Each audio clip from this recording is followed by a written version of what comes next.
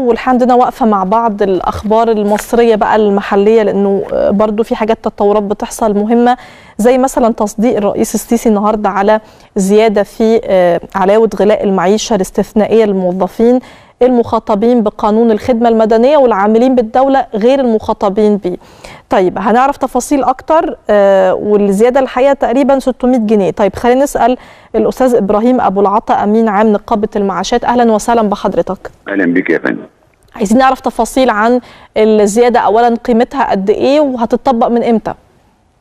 آه الزيادة قيمتها 300 جنيه على 300 جنيه كانت موجودة من الأول يعني هيبقى العلاوه السنيه 600 بس في 300 موجودين من شهر 4 آه. آه فمن شهر 11 اللي فات فبالتالي هيبقى العلاوة قيمتها 600 جنيه. لكن آه. الزيادة اللي هتيجي للناس 300 طيب تنطبق على مين أو مين يستفاد منها؟ أنا هتكلم بالنسبة لما يخصنا هم أصحاب المعاشات. كل من يتقاضى معاش. آه. أي حد بيتقاضى معاش. آه. طيب. حتى الورثة هياخدوا 300 هتتقسم عليهم بنسب آه، آه، المعاش اللي بياخدوه. طيب كويس جدا. ده من أول إمتى بقى التطبيق؟ يعني صرف العلاوة دي هتبقى إمتى؟ من ش... آه، أول 10 أول ح- 11 تقصد حضرتك؟ لا لا 10 هي مستحقة من 10 لا يعني إمتى بالظبط؟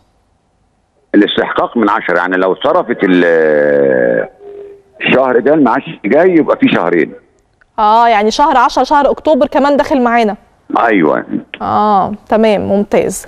طيب بشكر. وفي هل في طيب رقم عن الإجمالي؟ الإجمالي ال- ال- التكلفة هتبقى قد إيه؟ أو المستفيدين في المعاشات على الأقل؟ لا، بالنسبة للمعاشات آه، التكلفة تق- تقرب من 20 مليار. 20 مليار. آه. آه وعدد المستفيدين؟ عدد المستفيدين من من المعاش 10 مليون وكسر كده. آه أنا أنا باخد من حضرتك أرقام وهي أرقام مهمة جدا. 20 مليار آه. التكلفة 10 مليون مستفيد 300 جنيه على ال 300 جنيه اللي قبل كده آه، 600 الإجمالي ابتداء من شهر 10 اللي إحنا بس فيه. بس الناس تبقى فاهمة دي بتبقى مجنبة ال 600 دول مجنبين اسمهم علاوه استثنائية ما بينضافوش على المعاش. بيتصرفوا لكن ما بيتضافوش على قيمة المعاش. آه دي علاوة استثنائية على جنب.